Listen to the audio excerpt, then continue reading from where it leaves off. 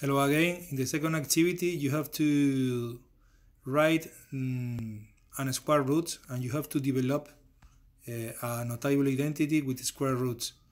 And now the better way is to write brackets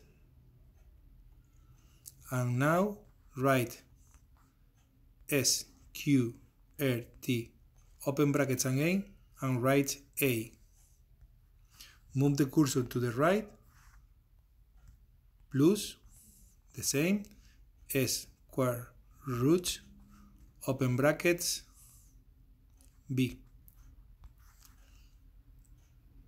Put the cursor out and write multiply open brackets again and write sqrt brackets again a Move the cursor to the right.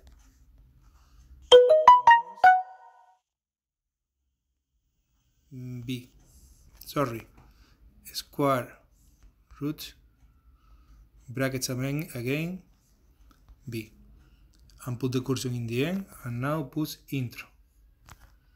And you have developed this uh, notable identity. This is an addition by a difference. Okay?